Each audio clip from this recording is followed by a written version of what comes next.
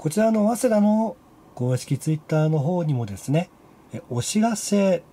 ということで、えー、ハーフタイムにワンキー加藤さんが出場なさるといった内容のご紹介がされて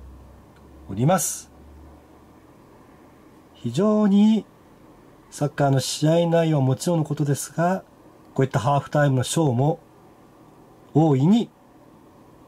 楽しみにさせていただきます。